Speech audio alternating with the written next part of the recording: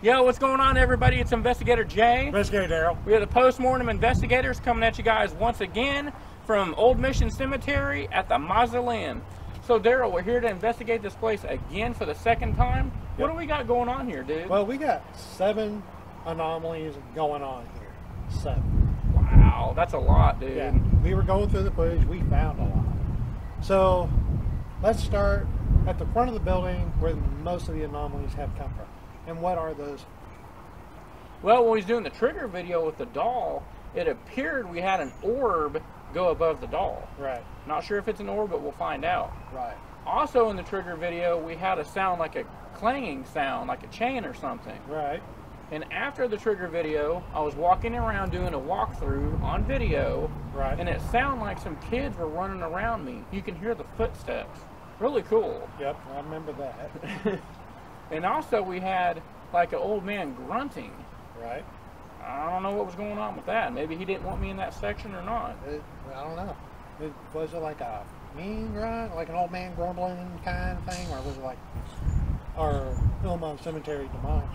It wasn't like a demonic grunt. It was just a, a mad grunt, like like an old man grumbling. yeah, old Okay. man grumbling, like Right. something like that. And then also, I took a photo of the front door, and it had a shadowy figure in it. Okay.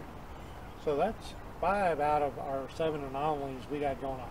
So what are our last two anomalies we got going on, dude? Well, on one side of the building, dude, it Right. sounded like a woman was singing a light tone. Yes, I remember that. That's right. That's right when we first walked in. We were like, hello. Yep, we thought somebody was in there singing. Yep. And then we had one more. On the other side of the building, we had two faces in the glass. Yes, we did. And you guys will notice we're not wearing our gear tonight. We're That's going, right. We're going bare minimum, right? That's right. Yep. And the reason is we are doing this because in our videos, I found my pouch making noise. What about you? It was making noise too, so I couldn't tell if it was something happening or if it was my pouch. Right. So we wanted to cut back on on the uh, pollution of a haunt and see what if that was some of that noise was us or what's really going on. And that's a good idea, dude. Yep.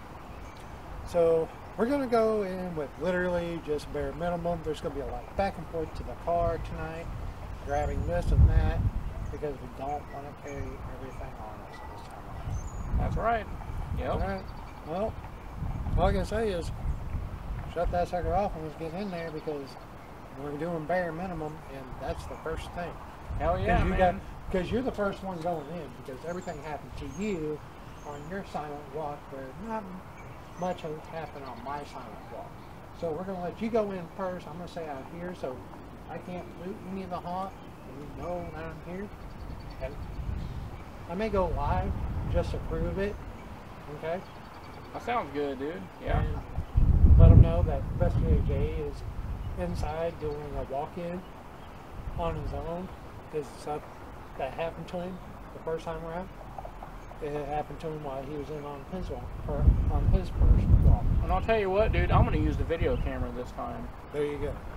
Sounds like a game plan to me. You got a game plan? Sounds All good, right. man. Let's Let's do it. Stay tuned, guys.